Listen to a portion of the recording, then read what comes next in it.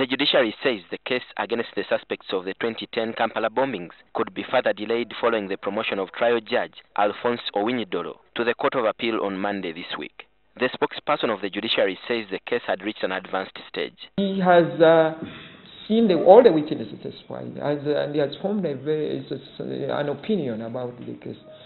And uh, it wouldn't be in order or in the interest of justice for another judge to, to, to hear. Justice Owiny-Dollo is among the six judges of the High Court who are promoted by President Museveni. The case that has dragged on for five years may take longer given the changes.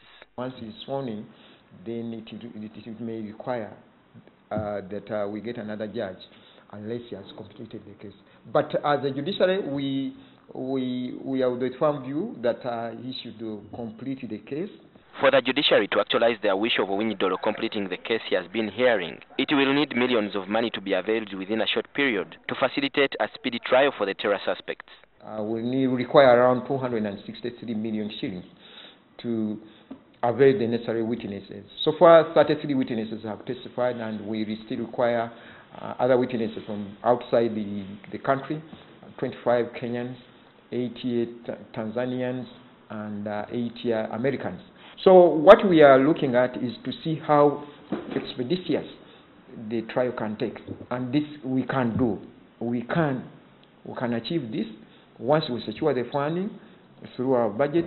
Uh, we can have the trial. It can even uh, go on over the weekend. The law allows that to, to even hear cases over the weekend, Saturday, including public day. For now, Justice Owiny-Dollo awaits vetting by Parliament. Once he is endorsed, the judiciary will have to get another judge to replace him.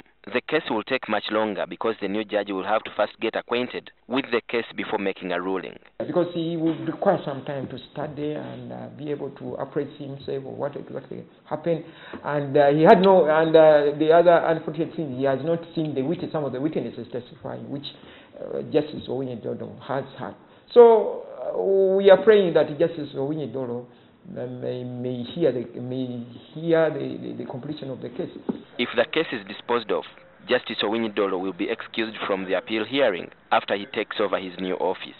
Justice Owiny-Dollo, uh, under the law, cannot or wouldn't sit in the judgment of uh, that appeal. So we have the numbers. Now we have the numbers in the Court of Appeal. Then we, we, we, we shall get other judges to hear that appeal.